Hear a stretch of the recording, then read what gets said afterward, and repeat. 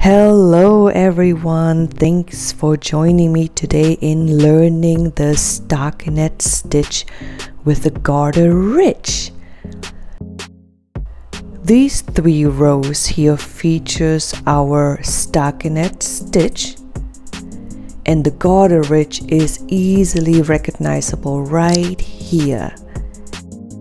It is a very light fabric not dense at all, perfect for a young girl's scarf and matching hat, no curly edges. This is the right side of your work. This is the left side of your work. If you are new to my channel, love for you to give me a thumbs up and leave me a comment below. We will only use knit and purl stitches for this pattern. This is a four row pattern repeat and you can cast on as many stitches as you like for this pattern. This is row number one. We will knit all stitches. I am using the continental knitting method.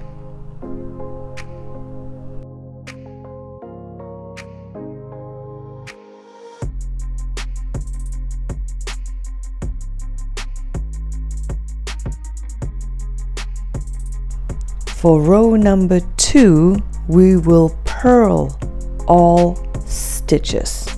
So you basically knit the stitch as you see it.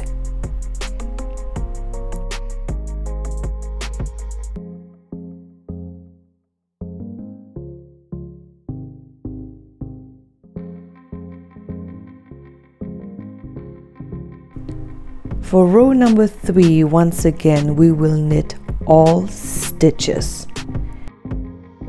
Continental knitting is often referred to as speed knitting. You can knit very fast with this method as you can see.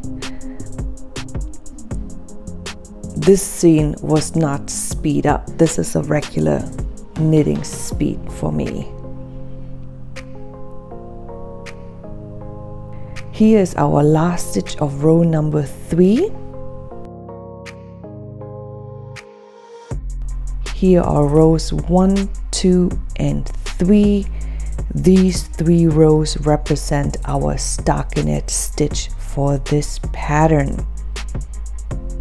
Row number 4 is what creates the garter ridge. Normally, if you knit as the stitch appears, you would purl this stitch, but instead you will knit the fourth row all the way across.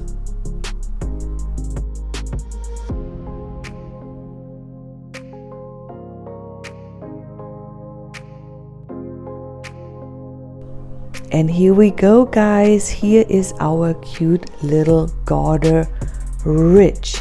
It is a full row repeat, but it's a very easy one and perfect pattern to practice your knit and purl stitches if you are new to knitting. I just love the light feel of this fabric and I think you guys would like it too. If you found this tutorial helpful, please give me a thumbs up. Don't forget to subscribe and click on the notification bell. I will see you guys next time. Peace out.